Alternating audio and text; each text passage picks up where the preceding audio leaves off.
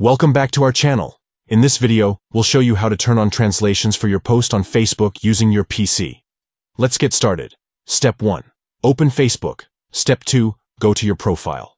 Step 3. Find the desired post and click on the three dots icon next to it. Step 4.